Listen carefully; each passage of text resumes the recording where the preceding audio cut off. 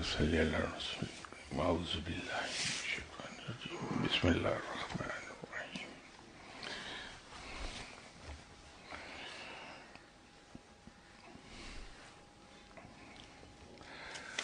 السلام عليكم خواتين حضرات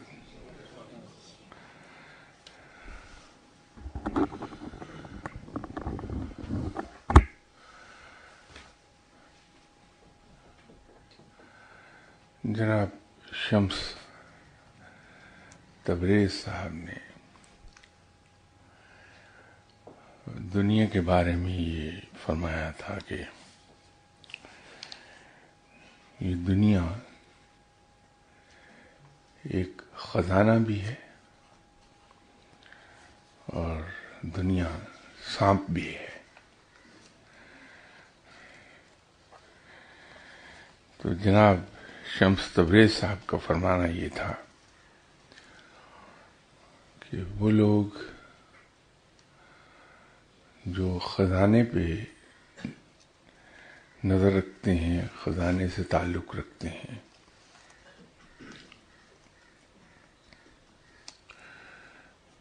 کچھ لوگوں کا کہ یہ وہ لوگ ہیں جو خزانے پہ نظر رکھتے ہیں۔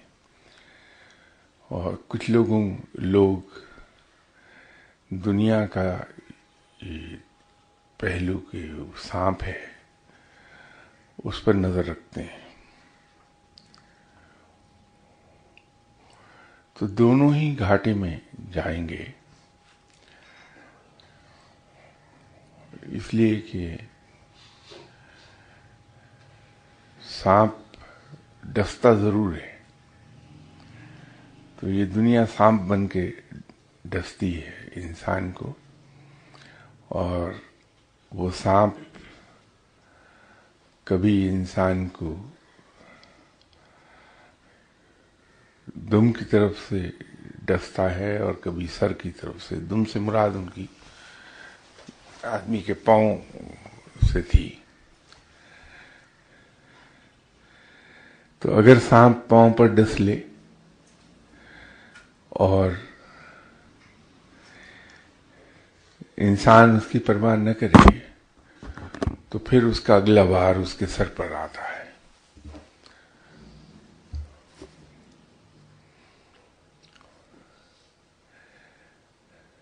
اس سے مراد یہ ہے کہ اگر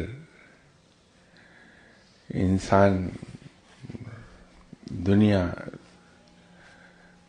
میں تھوڑا سا ڈوبے اور اپنے قلب پر انسان تو جو نہ دے، تو پھر آہستہ آہستہ وہ دنیا میں پوری طرح ڈوب جا، ڈوب جاتا ہے۔ الفاظ ہیں، شمس تبریز صاحب کے۔ لیکن اس کا مطلب یہ ہے، الفاظ ایسے ہیں جو سمجھنا ذرا دشوار ہوتے ہیں۔ لیکن اس سے مراد شمس تبریز صاحب کی یہی ہے کہ اگر جب انسان کو یہ خیال ہو، نہ آئے کہ میں دنیا میں ڈوب رہا ہوں۔ اور شروع ہی میں اپنے آپ پر چیک اپلائی نہ کرے، تو پھر رفتہ رفتہ وہ سر سے پاؤں تک دنیا میں ڈوب جاتا ہے اور رب سے دور ہو جاتا ہے۔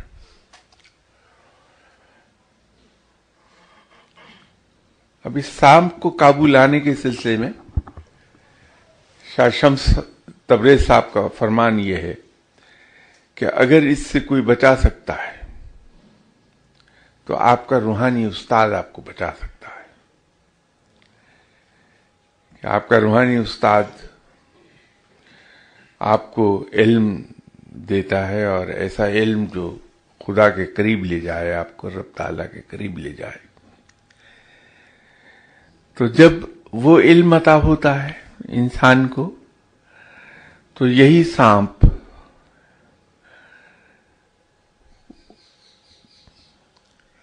جس کا زہر مہلک ہے انسان کے لیے،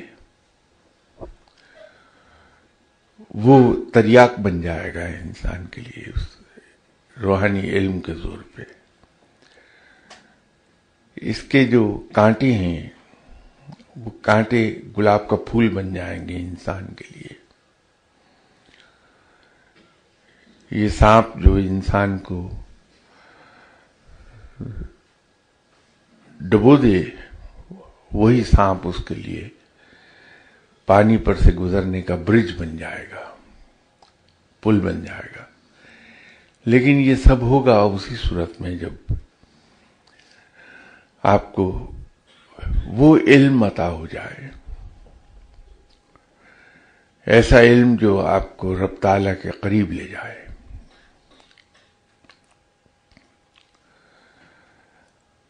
اب اس علم کا حصول کتابوں سے تو ممکن نہیں ہوتا۔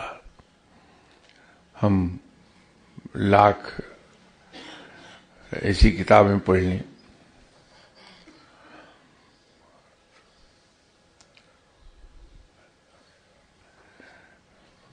میں ابھی اپنے آفس کے کام کے سلسلے میں ملک سے باہر تھا تو وہاں اس ملک میں جہاں میں کام سے گیا ہوا تھا،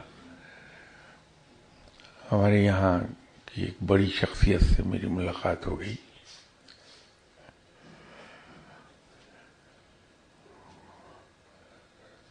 تو ان کا غالباً میرے بارے میں خیال ہوگا، کیونکہ ایک ڈھونگ تو میں نے رچا رکھا ہے کہ میں شاید بڑا کوئی علم رکھنے والا آدمی ہوں یا روحانی آدمی ہوں۔ تو وہ شاید اس ڈھونگ سے متاثر ہو گئے ہوں گے، ان کا خیال یہ ہوگا کہ یہ واقعی کوئی نیک انسان ہے۔ تو اب انہوں نے مجھے دیکھا تو وہ بات کرنے لگ گئے، مختلف کتابوں کے حوالے وہ دینے لگے، روحانی کتابوں کے۔ تو فرمانے لگے، جب میں جیل میں بند تھا، ایک لمبا عرصہ، تو میں یہ کتابیں وہاں پڑھتا رہا۔ تو اب میں فقیری کو بہت حد تک سمجھنے لگا ہوں۔ تو مجھ سے کہنے لگے کہ دیکھیے، یہ انرجی ہر چیز ہے۔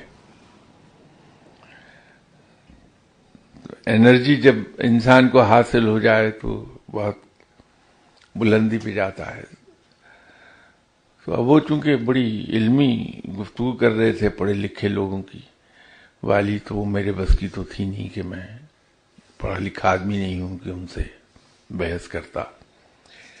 لیکن میں یہ دیکھ رہا تھا کہ انہوں نے کتابیں تو پڑھی ہیں، لیکن نہ تو انرجی کا معلوم ہے ان کو کہ انرجی کہتے کس کو ہیں۔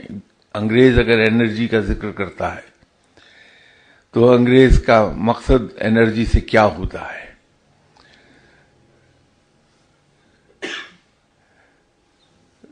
نہ ان کو یہ اندازہ ہو سکا تھا کہ میڈیٹیشن انگریز میڈیٹیشن کی بات کرتا ہے۔ ہم لوگ اسے مراقبہ کہتے ہیں۔ مراقبے میں اور میڈیٹیشن میں اس لحاظ سے تو کوئی فرق نہیں کہ ایک لفظ ہمارے یہاں مستعمل ہے اور دوسرا یورپ میں مستعمل ہے۔ لیکن بہت فرق ہے۔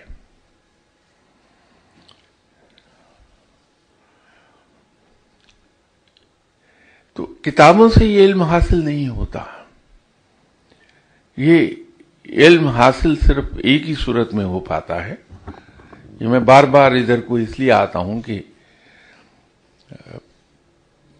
ہم سب کے ذہنوں میں ایک غلط فہمی ہے جو نکل نہیں رہی کسی طرح۔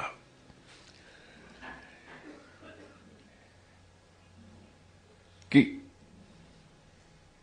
اللہ کا قرب کسی قیمت پہ حاصل ہو ہی نہیں سکتا۔ خواہ ہم کتنی کتابیں پڑھتے چلے جائیں۔ کتنے ہی وظیفے کرتے چلے جائیں۔ کتنی تسمیاں کر لیں۔ اس طرح سے قرب حاصل نہیں ہوتا۔ جب تک کہ ہم اپنی زندگی کی راہ تبدیل نہ کر لیں۔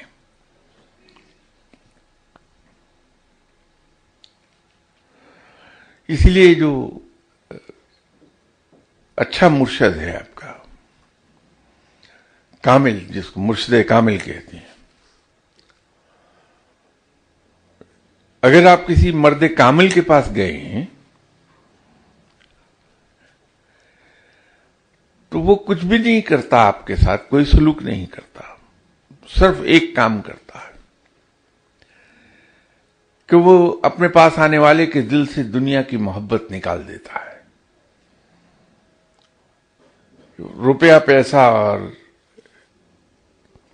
مال و زر جائیداد ان چیزوں کی محبت دل سے نکل جاتی ہے۔ ابھی ہم کہنے کو تو یہ کہتے ہیں کہ وہ کچھ نہیں کرتا، صرف ایک چھوٹا سا یہ کام کرتا ہے۔ لیکن در حقیقت یہی سب کچھ ہے کہ اگر ایک بار انسان کے دل سے دنیا کی محبت نکل جائے تو پھر دوسرے رویے اختیار کرنا یا آسان لفظوں میں، پھر سنت کی پیروی کرنا بہت آسان ہو جاتا ہے۔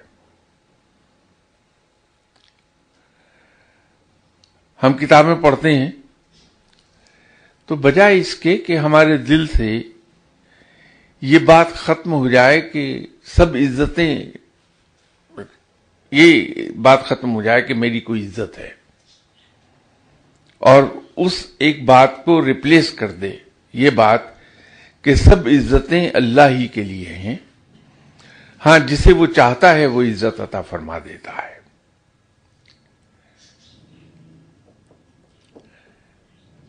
کوئی کتاب پڑھتے رہیے۔ یہ خیال دل سے نہیں نکلتا، بلکہ یہ اور زیادہ سٹرونگ ہوتا چلا جاتا ہے کہ آخر میری بھی تو کوئی عزت ہے۔ اس لیے کہ وہاں ایک اور چیز جنم لینے لگتی ہے جب ہم مطالعہ کرتے ہیں چیزوں کا، کہ میں کچھ ہوں۔ ظاہر ہے مطالعہ کیا ہے، محفل میں بیٹھے۔ تو وہاں محفل پر آدمی چھاتا ہے کیونکہ اس کے پاس علم ہے، وہ علم کی بات کرتا ہے، دوسرے امپریس ہوتے ہیں۔ تو چھا جاتا ہے محفل پہ۔ تو میری کوئی عزت ہے یہ خیال اور مضبوط ہو جاتا ہے۔ نتیجہ یہ ہے کہ چھوٹی سی بات پر انسان ہرٹ فیل کرے گا اور ریئیکٹ کر جائے گا۔ لیکن جب آپ کسی مرد کامل کی محفل میں بیٹھتے ہیں، تو وہ آپ کے دل سے یہ بات نکالتا ہے کہ آپ کی بھی کوئی عزت ہے۔ انسان یہ سمجھتا ہے کہ میری کیا عزت؟ کچھ بھی نہیں۔ سب عزتیں اللہ ہی کے لیے ہیں۔ ہاں جسے وہ عزت دینا چاہتا ہے، اسے عزت ملتی ہے۔ اور پھر یہ خیال دل میں مضبوط ہوتا ہے کہ اگر میرا رب مجھے عزت دینا چاہے گا، تو پوری دنیا مل کر بھی اس عزت کو روک نہیں سکتی۔ سکتی مل جائے گی مجھے وہ عزت۔ اور اگر خدا نخواستہ اللہ تعالیٰ اس کے برعکس چاہے، تو ساری دنیا مل کر بھی میری عزت کو بچا نہیں سکتی۔ عزت میرے ہاتھ سے چلی جائے گی۔ یہ جب خیال آتے ہیں دل میں، دنیا کی محبت نکلتی ہے، اپنی ذات کے بارے میں، اسی لیے آپ نے سنا ہوگا کہ فقیر لوگ ہمیشہ آپ کو یہ کہتے، ملیں گے کہ بھائی میں کس لائق ہوں۔ میری کیا حیثیت ہے؟ میں سب سے برا ہوں، سب سے چھوٹا ہوں۔ یہ فقیر عام طور پہ آپ کو کیسے دکھائی دیں گے؟ حالانکہ ایسا ہوتا نہیں ہے۔ لیکن ان کو یہ، ان کا مرشد یقین دلا چکا ہوتا ہے کہ تمہاری کوئی عزت نہیں ہے، سب عزتیں اللہ ہی کے لیے ہیں۔ اور یہی وجہ ہے کہ جب فقیر ایسی عاجزی اختیار کرتا ہے کہ میری کیا حیثیت ہے؟ کچھ نہیں، میں کچھ بھی نہیں ہوں، تو رب اسے بے پناہ عزت عطا کر دیتا ہے۔ آجزی اختیار کرنے سے عزت ملتی ہے۔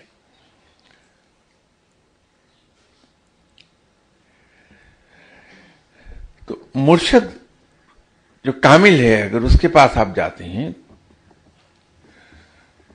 ہم دنیا دار ہیں، میں کسی ولی اللہ کے پاس جاؤں گا۔ تو میں تو ولی اللہ کو پرکھوں گا اس بات پر کہ اس نے میرے لیے دعا کی، تو وہ کام ہوا کہ نہیں ہوا۔ میرے نزدیک یہ پرکھ ہوگی اس کی۔ اور اگر کوئی صاحب علم جائے گا فقیر کے پاس، علم رکھ رکھنے والا یا علم کو سمجھنے والا جائے گا کسی فقیر کے پاس، تو اس کے ذہن میں بھولے سے بھی خیال نہیں آئے گا کہ میں اس شخص کے پاس آیا تو اس نے میرے لیے دعا کی، وہ دعا قبول ہوئی کہ نہیں ہوئی؟ وہ کوئی پرکھ ہے ہی نہیں۔ اس لیے کہ یہ تو صرف رب ہے جو دعائیں سنتا ہے، قبول کرتا ہے، اور وہ مرضی کا مالک ہے۔ اس کو کوئی پابند نہیں کر سکتا کہ وہ اس کی دعا ضرور سنیں۔ یہ اور بات ہے کہ رب رحیم و کریم ہے، وہ سن لیتا ہے۔ لیکن اگر ہم ولی اللہ کو یہ کہیں، یہ سمجھیں کہ جو زبان سے اس کے نکلا وہ پورا ہو جائے گا، تو غلطی ہماری ہے۔ یہ صرف رب ہے۔ کہ جو وہ چاہتا ہے وہ ہوتا ہے، جو وہ سوچتا ہے وہ ہو جاتا ہے۔ انسان بہرحال انسان رہتا ہے، چاہے کسی مقام پر فائز ہو جائے۔ تو اس کی دعائیں اگر ایٹی پرسنٹ بھی قبول ہوتی ہیں تو بڑی بات ہے۔ ٹوینٹی پرسنٹ نہیں پوری ہوتی۔ تو ہم غلط جگہ پہ پرکھتے ہیں کہ فلاں آدمی فقیر ہے یا نہیں ہے۔ فقیر کو پرکھنا ہے تو یہ دیکھیے کہ میں اگر اس شخص کے پاس جا رہا ہوں تو میرے زندگی کے رویوں میں تبدیلی آئی یا نہیں آئی؟ اگر وہ مرد کامل ہے جس کے پاس آپ جا رہے ہیں، تو آپ کے دل سے دنیا کی محبت بھی نکل جائے گی۔ آپ کی انا بھی کچھ لی جائے گی۔ یہ انا ہے کہ میں میں بھی تو کوئی چیز ہوں، میری بھی کوئی عزت ہے۔ یہ انا ہے انفیکٹ انا ختم ہو جائے گی۔ انسان کے رویے غیر محسوس طریقے پر سنت کی پیروی کی طرف چلے جاتے ہیں کہ انسان سنت کی پیروی کرنے لگتا ہے مختلف معاملات میں۔ اور اس کی یارڈ سٹک کیا ہے؟ بہت آسان کام ہے کہ اگر میں کسی مرد کامل کے پاس جا رہا ہوں تو وہاں جا کے میں یہ دیکھتا ہوں کہ جب میں اس ولی اللہ کے پاس جانا شروع ہوا تھا، تو مجھے چھوٹا سا مالی نقصان پریشان کر جاتا تھا۔ آج میں ایسے نقصان پہ پریشان ہوتا ہوں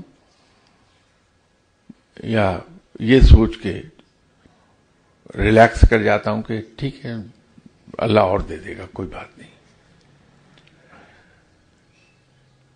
جب میں اس ولی اللہ کے پاس جانا شروع ہوا تھا، تو کوئی مجھے اوے کہہ دیتا تھا، تو میں پلٹ کے ریئیکٹ کرتا تھا۔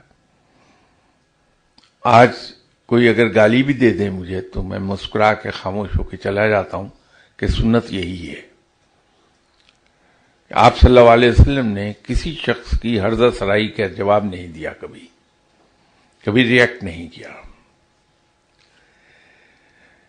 ہاں البتہ انسان فولاد کی طرح سخت ہوتا ہے جب اس کا واسطہ غیر مسلم سے ہو جائے کہ میدان جنگ میں وہ انتہائی سخت ثابت ہوتا ہے۔ وہاں اس کی سختی ایسی ہوگی کہ اس کو تلوار بھی کاٹ نہیں پاتی پھر۔ لیکن اپنوں کے لیے موم کی طرح نرم ہو جاتا ہے انسان۔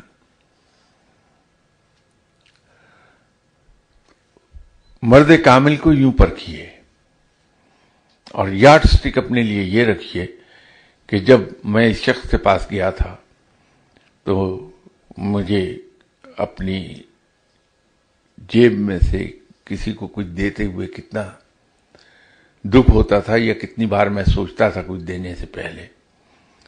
میری اپنی ضروریات، میری اپنی خواہشات میرے لیے زیادہ امپورٹنٹ تھیں۔ اور آج میرے لیے دنیاوی مال و زر امپورٹنٹ ہے کہ یہ صرف ضرورت کی چیز رہ گئی ہے، کہ میری ضرورتیں پوری ہو جائیں، لوگوں کی اس سے ضرورتیں پوری ہو جائیں۔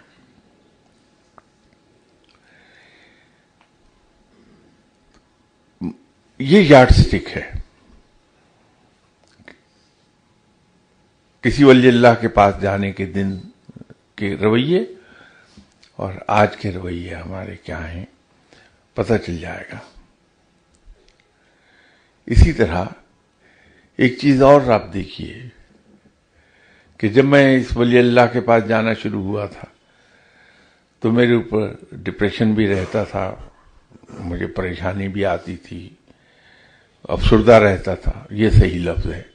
کہ وہ افسرد کی تاری رہتی تھی۔ لیکن اب ایک عجیب طرح کی سرخوشی ہوتی ہے آدمی کے اندر۔ یہ یارڈ سٹک ہے۔ یارڈ سٹک وہ نہیں ہے جو میں سمجھتا ہوں کہ اس کی دعا پوری ہوئی کہ نہیں ہوئی۔ وہ تو کسی کی بھی ہو جائے گی۔ پنڈت نہرو سے اگر میں ریکویسٹ کروں گا دعا کرو تو اللہ اس کی بھی سن لے گا۔ یہ کون سی بات ہے؟ یہ ہے یارڈ سٹک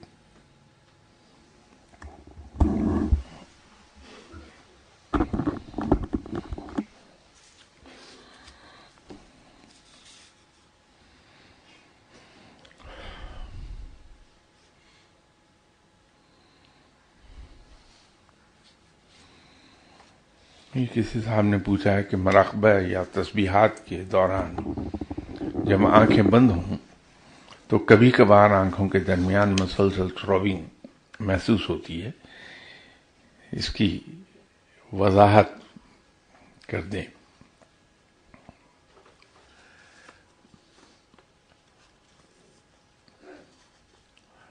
جن صاحب نے بھی سوال پوچھا ہے، وہ غالباً اپنی مصروفیات کی بنا پر پانی کم پیتے ہیں۔ تو جب وہ کانسنٹریٹ کرتے ہیں پوری طرح تو ان کا بلڈ پریشر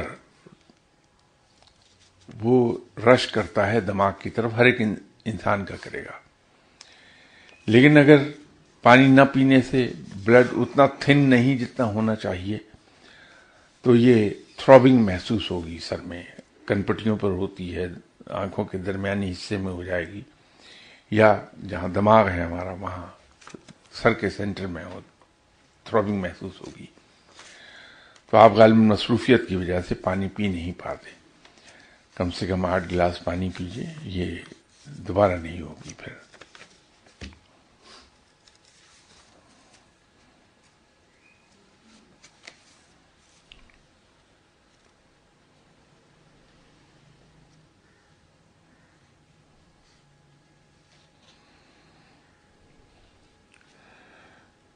یہ کسی صاحب نے پوچھا ہوا ہے کہ کیا کسی ولی اللہ کا تصرف صرف زمین تک محدود ہوتا ہے یا اس سے بڑھ کر؟ یہ ڈپینڈ کرتا ہے کہ وہ ولی اللہ علم کے کس مقام پر ہے۔ ولی اللہ بڑی براڈ ٹرم ہے۔ جو ہی کسی شخص کو ولایت عطا ہوتی ہے، تو وہ اس ولی اللہ کی فیملی میں داخل ہو جاتا ہے۔ یہ بالکل ایسا ہی ہے کہ جیسے ہم سی ایس ایس کرتے ہیں تو ہم سول سروینٹ کہلانے لگتے ہیں، خواہ ہم سیکشن آفیسر ہوں یا فیڈرل سیکرٹری کے عہدے پر فائز ہوں۔ سبھی سول سروینٹ کہلاتی ہیں۔ اسی لیے اس کو ہم فیملی کا نام دیتے ہیں۔ لیکن اب سول سروینٹ سیکشن آفیسر ہے لوئسٹ اس پر ہے، وہ لیڈر کے لوئسٹ اس پر بیٹھا ہے۔ فیڈرل سیکرٹری ہے، وہ ہائیسٹ پوائنٹ پر بیٹھا ہے۔ لیکن کہلائیں گے سول سروینٹ ہی سبھی۔ تو جس طرح ان لوگوں کی پاورز چینج ہوتی جاتی ہیں جو جو ان کو ترقی ملتی ہے اوپر چڑھتے ہیں۔ پاورز بھی بڑھتی جاتی ہیں، سیلریز بڑھتی ہیں، پرٹس اس کے بڑھتے جاتے ہیں۔ اسی طرح ولایت کے اندر، ولی اللہ علم کے کس مقام پر فائز ہے، وہ اس کے حساب سے ہی اس کے تصرفات ہوں گے۔ لیکن ایک چیز ہمیں یاد رکھنی چاہیے کہ میرے اور آپ جیسے لوگ ان کے لیے تصرفات بڑے اہم ہیں کہ کسی ولی اللہ کو کیا تصرف حاصل ہے، لیکن خود ولی اللہ کے لیے تصرفات کوئی معنی رکھتے ہی نہیں ہیں۔ وہ ایک ہی جستجو میں رہتا ہے کہ رب کب ملے گا؟ اور یہی وجہ ہے کہ اولیاء اکرام کے نزدیک سب سے خوشکن لمحہ وہ ہوتا ہے جب اسے یہ پتہ چل جائے کہ میں دنیا سے جا رہا ہوں۔ سب سے خوشی اس کو اس وقت ہوتی ہے۔ اس لیے کہ اس کے دوست سے ملاقات کا وقت آن پہنچا ہے۔ اور ولی اللہ کی ایک پہچان جو لوگ کہتے ہیں کہ اس کو موت کا خوف نہیں ہوتا، بلکہ اس کے لیے موت بڑی ویلکم چیز ہوتی ہے۔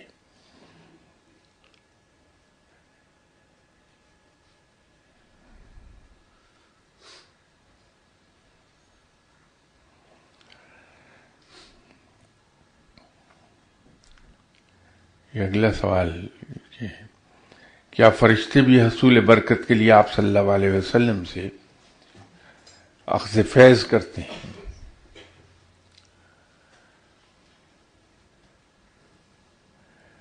صرف اس چیز سے اندازہ کر لیں کہ آپ صلی اللہ علیہ وسلم کی محفل میں فرشتہ بھی بغیر اجازت داخل نہیں ہو پاتا۔ تو اس سے آپ کو اندازہ ہو جائے گا کہ وہ فیض انہیں ملتا ہے کہ نہیں۔ تو فرشتے اس محفل میں کوئی حیثیت نہیں رکھتے، وہ بھی محتاج اجازت ہے۔ تو جو محتاج اجازت ہے، وہ تو پانی ہمیشہ نیچے کی طرف بہتا ہے۔ تو فیض اپنے سے چھوٹے ہی کو جائے گا۔ تو یقینی طور پر ان کو اگر فیض حاصل کرنا ہے تو وہیں سے حاصل کریں گے۔ یہ اگلا سوال ہے، اس کا جواب کئی بار میں عرض کر چکا کہ سوال یہ ہے کہ کیا ہم خواب اپنی روح کی صلاحیت کے مطابق دیکھتے ہیں؟ یہ خواب پر کئی بار گفتگو ہوئی اور میں ہمیشہ ایک بات عرض کیا کرتا ہوں کہ خواب کی تعبیر کے لیے بہت سی چیزوں پر نظر رکھنا ہوتی ہے۔ ان میں ایک بیسک چیز یہ ہے کہ جو آدمی خواب دیکھ رہا ہے، اس کی روحانی کیفیت کیا ہے؟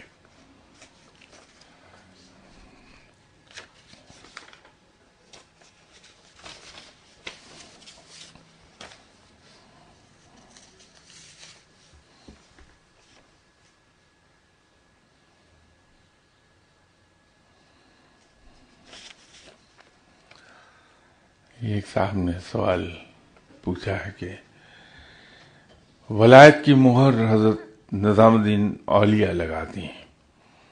ان کے بعد کتنے ہی بلند پایا اولیاء کرام تشریف لاتے رہے۔ کیا وجہ ہے کہ یہ اعزاز ابھی تک ان کے پاس ہے؟ کیا یہ اسپیشل کورس کے نتیجے میں حاصل ہوتا ہے؟ کیا اخیار کے لیول پر ہی مہر لگ جاتی ہے؟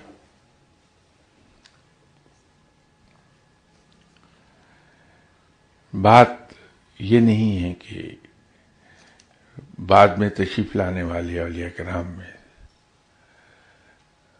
بہت بلند پایا ولی اللہ گزرے ہیں۔ بات یہ ہے کہ ایک فٹ کنسٹیبل ہے، پولیس کا سپاہی ہے۔ لوئسٹ رینک ہے اس کا۔ اس کے ایک اشارے پر ساری چلتی ہوئی ٹریفک رک جاتی ہے اور اس ٹریفک میں سیکرٹری بھی ہو سکتا ہے، منسٹر بھی ہو سکتا ہے، چپراسی بھی ہو سکتا ہے، اور مجھ جیسا ریڈی فروش بھی ہو سکتا ہے۔ لیکن اس کنسٹیبل جس بیچارے کی چند ہزار روپے تنخواہ ہے، اس کے ایک اشارے پر ساری ٹریفک رکے گی، اس لیے کہ اس کو یہ ڈیوٹی تفویض کی گئی ہے۔ بات اس شخص کی نہیں ہے۔ بات اس کی ڈیوٹی کی ہے کہ اس کو اس ڈیوٹی پر گورنمنٹ نے فائز کیا ہے۔ تو جناب حضرت نظام الدین اولیاء رحمت اللہ علیہ صاحب، ان کے مقام کی بات نہیں ہے۔ مقام یہ ہے کہ ان کی ڈیوٹی یہ لگ گئی ہے۔ تو کتنے ہی بلند پایا ولی اللہ کیوں نہ ہو، وہ یہ ڈیوٹی سر انجام دیں گے، یہ تو ایک میں نے آپ کے سوال کا جواب دیا۔ لیکن اسی سلسلے میں ایک چیز میں کلیئر کر دوں گا آپ سے کہ جناب حضرت نظام الدین اولیاء رحمت اللہ علیہ صاحب کے مقام سے بلند مقام پر وہی آدمی پہنچے گا جس پر بہت سالوں پہلے مہر لگ چکی۔ تو مہر اس مقام سے چھوٹے مقام کے ولی اللہ کو لگتی ہے، جس مقام پر جناب حضرت نظام الدین اولیاء رحمۃ اللہ علیہ صاحب فائز ہیں۔ تو مہر لگنے کے بعد وہ آہستہ آہستہ ترقی کرتا کرتا ہے۔ پھر وہ جناب حضرت نظام الدین اولیاء رحمۃ اللہ علیہ صاحب کے مقام کو پہنچے گا اور اس کے بعد پھر وہاں سے اوپر جاتا جائے گا۔ تو یہ نہیں ہے کہ ایک ابدال کہیں غوث کے شانے پر مہر لگا دے۔ کیونکہ وہ تو غوث ہونے کے لیے ضروری یہ ہے کہ وہ نیچے سے تو چلے، پہلے۔ گریجویشن کی ڈگری بغیر کلاس فائیو پاس کیے ملتی نہیں ہے۔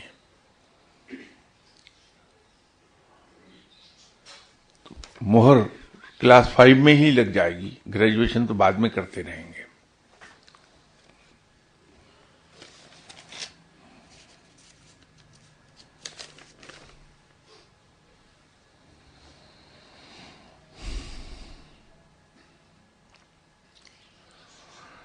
ایک سوال ہے کہ کچھ لوگ کہتے ہیں کہ حاجت روا، مشکل کشا، گنج بخش، گنج شکر اور داتا وغیرہ جیسے القابات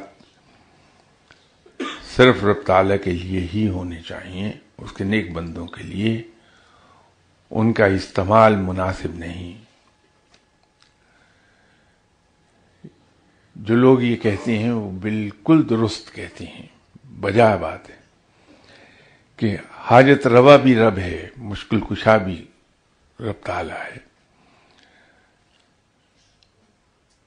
لیکن جب ہم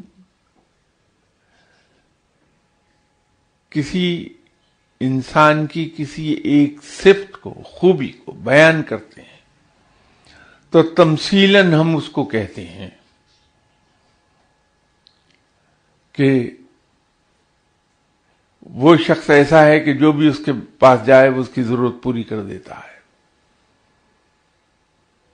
اب حاجت روائی کیا چیز ہے؟ ضرورت پوری کرنا۔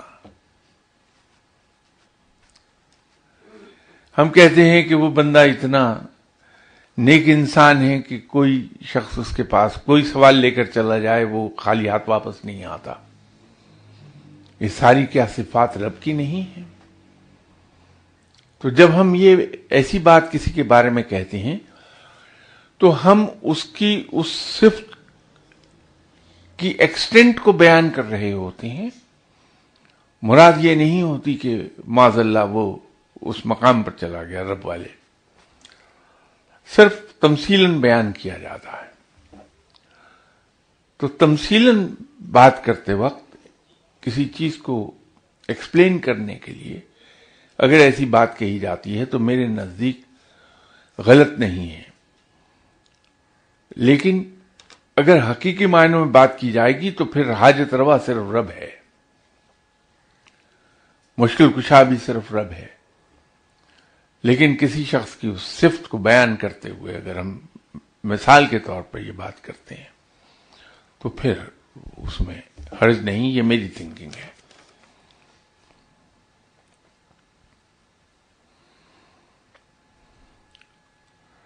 یہ کسی نے سوال پوچھا کہ دنیا کے بدلتے ہوئے سیاسی منظرنامے میں بہت سے غیر متوقع نتائج سامنے آ رہے ہیں۔ جیسے کہ امریکہ، یورپ اور انڈیا اور بہت سے ملکوں میں یکسر مختلف اور اصلاح پسند اور نئے رہنما سامنے آ رہے ہیں۔ کیا مستقبل قریب میں پاکستان میں بھی کچھ تبدیلیاں مثبت انداز میں متوقع ہو سکتی ہیں؟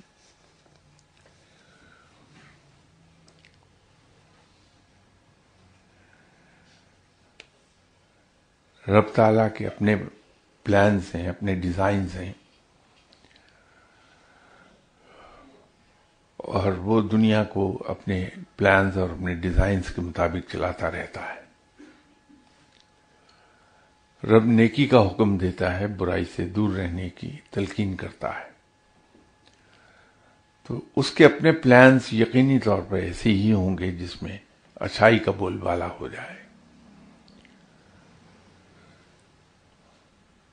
معاملات ادھر کوئی موو کر رہے ہیں، جدھر ہمیں جانا ہے، جہاں جس کی پیش گوئیاں آپ صلی اللہ علیہ وسلم نے بھی فرمائی ہیں۔ پاکستان دنیا سے کٹ کر تو نہیں رہ پائے گا کہ وہاں وہ برائی کا سینٹر بن جائے اور باقی سب جگہوں پر اچھائی ہو۔ تو یقیناً ہمارے یہاں بھی اچھی تبدیلیاں آئیں گی۔ یہ تو ایک بات ہے۔ دوسری چیز یہ ہے کہ ہمیں رب تعالیٰ سے اچھی ہی توقع رکھنی چاہیے کہ رب اچھا کرے گا۔ ہم رب تعالیٰ سے جیسے گمان رکھتے ہیں، اللہ ویسا ہی کرتا ہے۔ تو اس لیے اللہ سے اچھے گمان رکھے جانے چاہیے، وہ اچھا ہی کرے گا، انشاءاللہ۔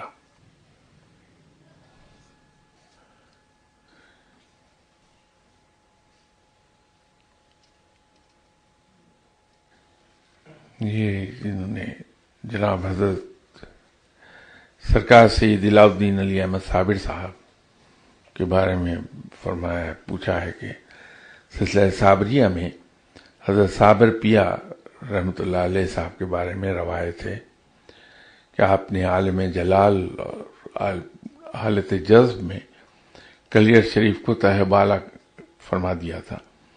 کیا یہ روایت درست ہے؟ کیا حضرت صابر پیا کے سلسلے میں یہی جذب اور فنف اللہ کی روایت چلی آ رہی ہے۔ مزید یہ کہ حضرت صابر پیا سے سلسلہ صابریہ آگے کس واسطے سے چلا۔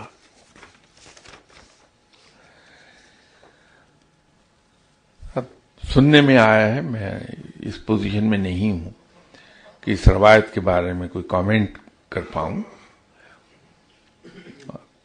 حقیقت یہ ہے کہ شاید میں ذہنی طور پر ان چیزوں کی طرف متوجہ ہوتا بھی نہیں۔ میرے نزدیک امپورٹنٹ یہ نہیں ہے کہ جناب سرکار سید علاء الدین علی احمد صابر صاحب نے حالت جذب میں یا حالت شکر میں یا حالت جلال میں کیا کر دیا۔ میری تو نظر اس بات پر ہے کہ جناب سرکار سید الدین علی احمد صابر صاحب اپنی کن طور طریقوں سے اس مقام پر جا سکے کہ ان کے بارے میں یہ روایت پیدا ہو گئی۔ تو میں اس کی پیروی کر لوں کہ چلیے اس کا دسواں حصہ ہی مجھے عطا ہو جائے۔ تو امپورٹنٹ میرے نزدیک وہ ہے، اس لیے میں نے آج تک کبھی نہ اس پہ غور کیا، نہ اس کی تحقیق کی۔ میں اس پہ زیادہ تحقیق کرنا چاہوں گا۔ کہ جناب سرکار سید الدین علی احمد سابق صاحب، کس طریقے سے اس مقام تک گئے؟ تو میں اس کو فالو کر لوں۔ اور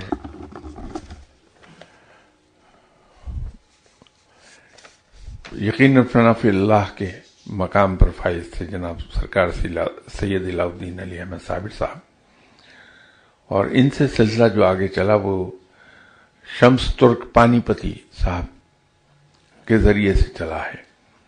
شمس ان کا اصل نام تھا اور ترک اس لیے کہلائے کہ ان کا تعلق ترکی سے تھا، وہ ترکی سے تشریف لائے تھے۔ اور پانی پتی اس لیے کہلاتے ہیں کہ آپ آرام فرما رہے ہیں پانی پت میں، دریا کے کنارے۔ تو سلسلہ بھی ان سے آگے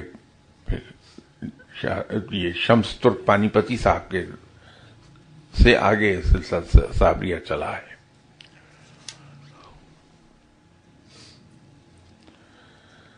ان کا ایک سوال یہ ہے کہ کسی روحانی بزرگ مرشد سے اپنا فیض یا ٹریننگ حاصل کرنے کے لیے کیا طریقہ کار اختیار کرنا چاہیے؟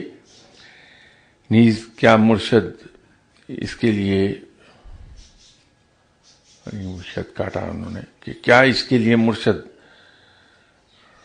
سے درخواست کی جانی چاہیے؟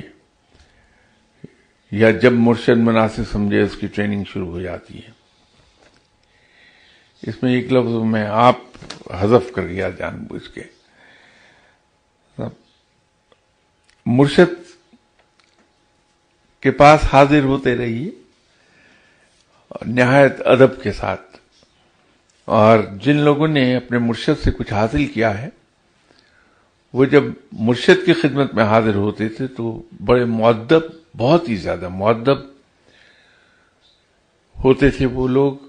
اور اپنی زبان وہ گھر پہ رکھ کے جاتے تھے، صرف کان اپنے ساتھ لے جاتے تھے مرشد کی محفل میں۔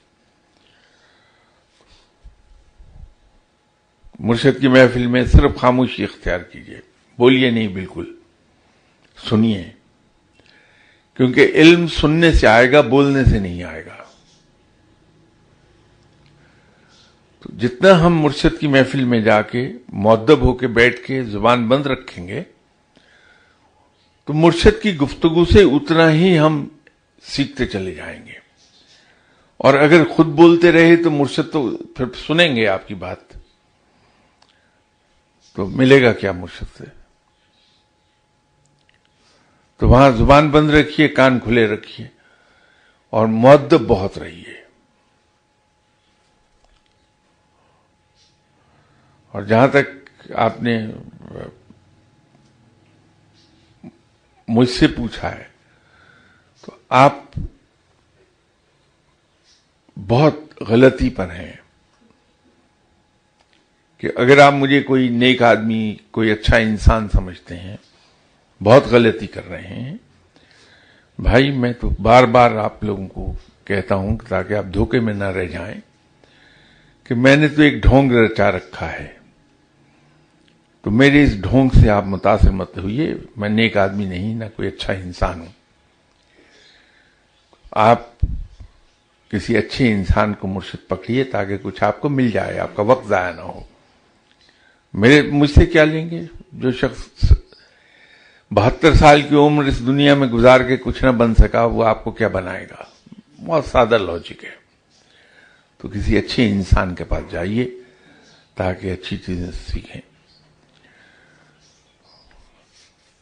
اور تیسرا حصہ اس کا یہ تھا کہ مرشد سے درخواست کی جائے یا مرشد جب مناسب سمجھے اس کی ٹریننگ شروع کر دے گا۔ یہ مرشد صاحب پہ چھوڑ دیجیے کہ وہ کب آپ کی ٹریننگ کرنا شروع کریں گے؟ اس لیے کہ جب کسی ولی اللہ کے پاس کوئی شخص جاتا ہے اور اسے یہ اندازہ ہو جائے کہ یہ علم کے حصول کے لیے آ رہے ہیں میرے پاس، تو وہ آپ کی فاؤنڈیشنز بنانا شروع کرتا ہے۔ بالکل ایسا ہے کہ جب آپ گھر بنانا شروع کرتے ہیں تو بنیادیں کھودتے ہیں۔ اور پھر بنیادوں بنیاد بنانی شروع کر دیتے ہیں مکان کی۔ تو راستہ گزرتے ہوئے لوگوں کو نظر نہیں آتا کہ یہاں کیا بن رہا ہے۔ لیکن جو ہی وہ بنیادوں سے اوپر دیواریں اٹھنی شروع ہوتی ہیں تو دکھائی دینے لگ جاتی ہیں۔ تو اسی طرح جب مرشد آپ کے لیے فاؤنڈیشنز آپ کی تیار کر رہے ہیں، تو نہ آپ کو اندازہ ہو پائے گا کہ مرشد آپ کی فاؤنڈیشنز بنا رہے ہیں۔ اور نہ دیکھنے والوں کو پتہ چلے گا۔ تو جب وہ فاؤنڈیشنز آپ کی لے کر چکیں گے، تو اس کے بعد بلڈنگ بننی شروع ہوگی، تو آپ کو بھی احساس ہوگا کہ میری ٹریننگ ہو رہی ہے اور دیکھنے والوں کو بھی پتہ چلے گا کہ یہ بندہ ٹرین ہو رہا ہے۔ لیکن اس کا فیصلہ کہ کب کرنا ہے، یہ مرشد پہ رہنے دیجیے ایک سوال کے بارے میں انہی صاحب نے فرمایا ہے کہ میں اس کو اونچی آواز میں نہ پڑھوں کہ یہ صرف میرے لیے ہے۔ اللہ آپ کو جزا دے۔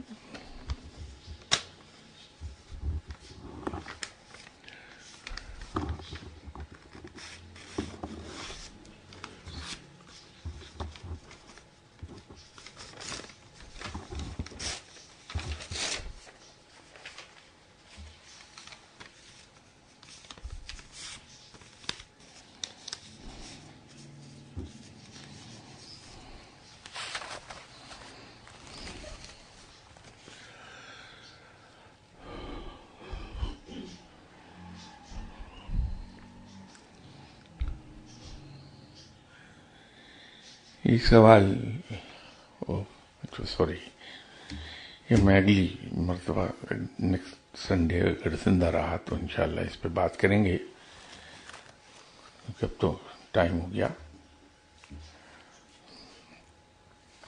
اس وقت تک کے لیے اجازت دیجیے السلام علیکم